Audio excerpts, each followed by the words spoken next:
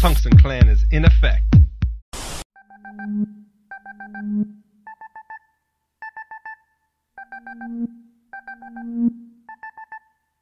Didn't take that long for intellects to evolve, and after Earth cooled, got primordial soup. Life increasing complexity, got every necessity, fulfilling the recipe. Are we galactic celebrities? Looking through evidence and extinction events. 3.8 billion years from good to human intelligence. The universe elegant, step away from the arrogance. Illogical to assume we are the only residents. For us on the scene, galaxy had what it needs. To have done it before and, And gone go repeat, repeat, repeat, repeat, searching the heaven scopes in every direction, so far evading detection. And it leads to the question.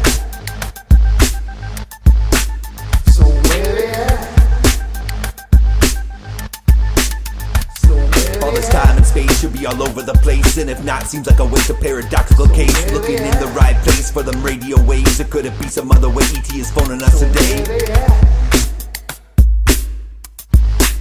So where they at? I don't wanna believe, I wanna know, I wanna know.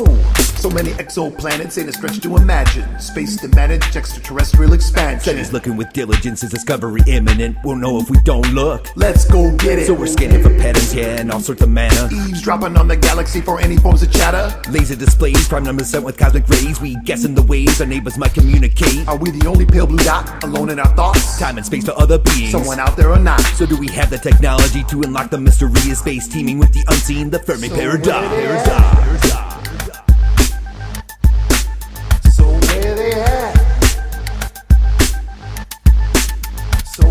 All this time and space should be all over the place, and if not, seems like a waste of paradoxical So case. Looking in the right place for them radio waves, or could it be some other way? ET is phoning us So today. Friend or foe, are they saying hello? Keep ears and eyes to the sky if we ever wanna know. Galactically, playing hide and seek, gotta search for the answer, can't let the question be. They at?